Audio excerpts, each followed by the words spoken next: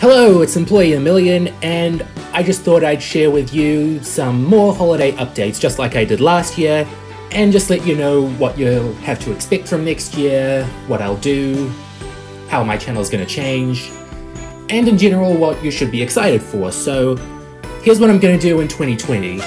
SpongeComs will continue well into the end of season 1 and the start of season 2.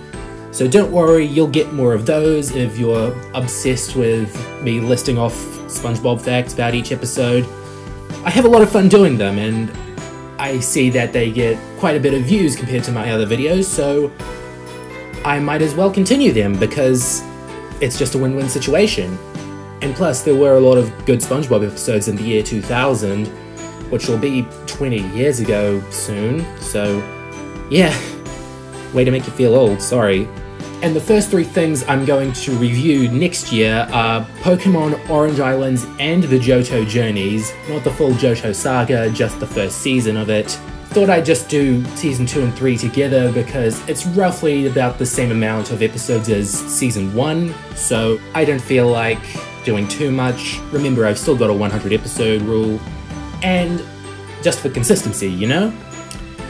And the thing I'm going to review after that is The Proud Family, which is going to be the first Disney show I review. I watched a lot of Disney Channel growing up, and I want to see if it still holds up. And The Proud Family certainly does, even though it's not on Disney Plus at the moment. But hopefully it is soon. There is a reboot coming out, so that's why I put it on my agenda. What I'm going to review in March is The Fairly Odd Parents, just in time for its 19th anniversary.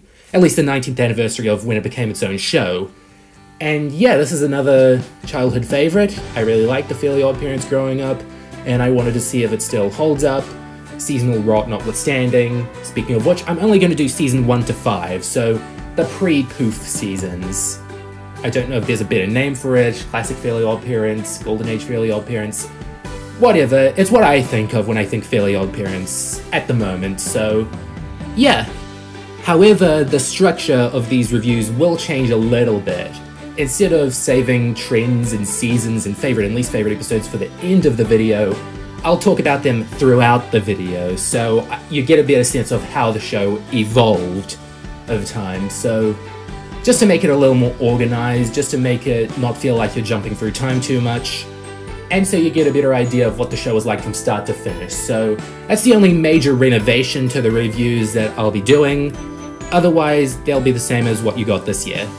Expect those three to kick off the new year, as well as a Q&A session on January 31st. So basically, I'm going to answer some questions from you guys, as long as they're sensible and not too much about my personal life or what I'll review next, because the answers to what I'll review next is eventually, because I don't plan on stopping YouTube anytime soon. I do really like doing it, so ask away in the comments of this video and I'll upload a Q&A video on January 31st, 2020.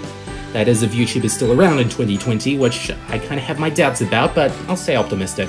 Other than that, the one thing that you'll expect from me that has no set date is when I hit 1,000 subscribers, I'll review Avatar The Last Airbender.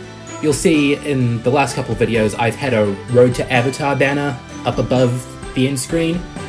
That basically shows my subscriber count and how close I am to Avatar. It's a long way to go yet, but I'm fairly optimistic that we could make it this year. Let's see, uh, let's see what happens.